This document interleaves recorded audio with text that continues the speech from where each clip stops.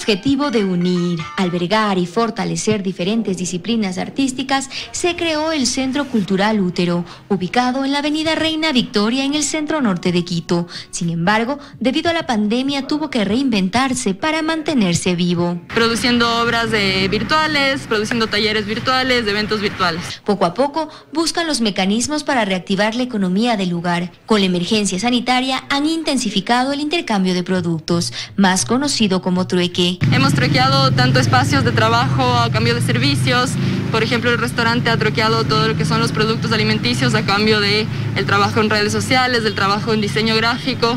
Entonces esto nos ha permitido no tener que sacar de nuestro dinero para pagar salarios o para pagar un servicio. Además, ahora que el COE Nacional permitió el funcionamiento de teatros y cines con el 30% del aforo, se realizarán eventos al aire libre. Hacer propuestas eh, de teatro, de danza, propuestas escénicas, vengan a consumir arte y cultura en los espacios independientes. Esta sin duda es una gran opción para disfrutar entre familia y amigos, pero eso sí, con todas las medidas de bioseguridad. Fernanda Ceballos, 24 horas.